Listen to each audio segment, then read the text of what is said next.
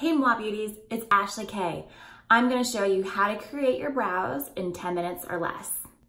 I'm gonna go ahead and jump right into how I create my brows. So I only use two products to create my brow. I use our Precision Brow Pencil in Deep Brunette. I'm gonna try to get it to focus on here for you. I don't know how the YouTubers do this crap too complicated, but whatever. I'll put the product information below. And I also use our liquid concealer in medium peach. So these two products and one brush. This is all you guys need. There's lots of other brow products out there. We even have them, but to me, um, I like my brow to look really natural and I like to do it really quickly. So I'm just gonna go ahead and get started. So first I use the spoolie on the other side of the pencil and I brush up my brow. So when you do your brow, you wanna make sure that it starts right about there. And if you notice, I'm going into the sub of my nose to get that angle. So you wanna go straight up, that's where your brow should start. You wanna go directly across the center of your eye, that's where your arch should be, which I have, so that's okay. And then you wanna go just under your eye and about there. So no one's brow really like ends over there, but you can kind of aim the brow to end in that direction. So for me, I always start in my arch and tail first, and I'm just gonna go light strokes upward. I don't know what's going on. My fire alarm thing keeps going off. And Louie's over here because he's scared. It's okay, Lou. Okay, anyway, back to brows. So I'm gonna go downward in light strokes. You wanna follow the arch. Okay, so I have my tail. Now I'm gonna go into my brow. I'm really just following the brush stroke of my brow. That's the biggest tip I'm gonna give you because I see a lot of the times um, when people are recreating their brow that they're just like creating a box and then filling it in. Um, I like for my brow to look a little bit more natural. So what's so cool about this pencil is that the other side is a mascara wand. You can just like brush it through and it evenly blends out the product that you're applying. Um, so I see there's like a little spot right here. So I'm only gonna go right there and I'm just gonna make it look even under here so that it all connects in one line right? And now I'm gonna go under here. So this is the most important area of a brow in my opinion. If you notice my brow naturally goes down at an angle, that's what you want. You want your brow to naturally go down at an angle to give the illusion of the arch here or to actually just create the arch there. Everyone thinks an arch is created in here, but really when you go down at an angle here, it gives an instant lift to your brow. And then I'm just gonna go upward and fill that in. This area should never look like a block.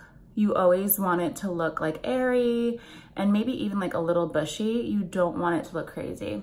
So I'm gonna move that mark that I put there earlier and I'm just going to finish it out. Okay, and then I'm gonna brush it.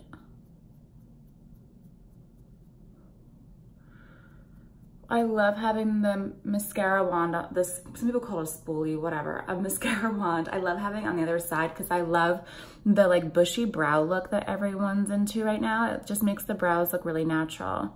And I'm just going through like any spot where I see it looks like a little bit light or a little sparse. I'm going through and now I'm gonna grab my concealer. I'm just gonna do a couple of dabs on my brow bone. So I don't know if you guys noticed, but I have little hairs that could definitely be plucked.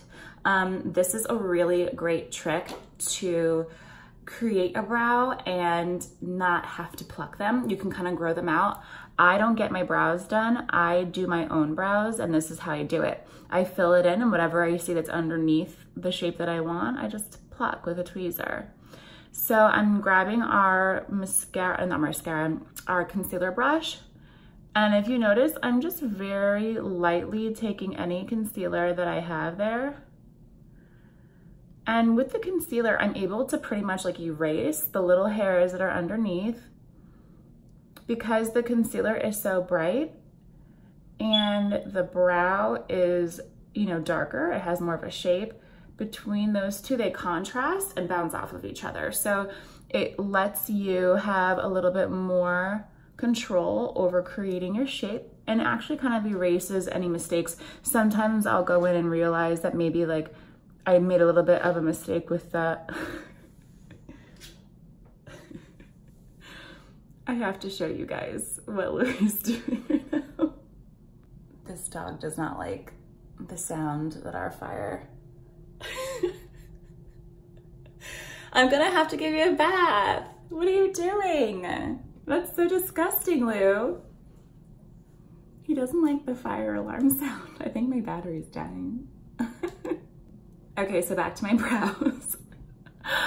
um, more control with the concealer. I really find that like if you make a mistake, you can create a little bit more of your shape. And sometimes I'll even realize with my concealer, like, oh, I actually, this doesn't look that even or that clean. So I'll just take whatever's left of my concealer and you see how it really helps that brow come to a little bit more of a point. Um, I'm just gonna grab like a blending brush that I have and I'm just gonna soften my concealer. This really helps to, you know, with your eyeshadow, like it gives your lid a really pretty and clean base. And you wanna bring the concealer down in this inner corner as well because it brightens up the eye. So done brow, mm, brow. Big difference, right? So I'm gonna go ahead and finish up my other brow.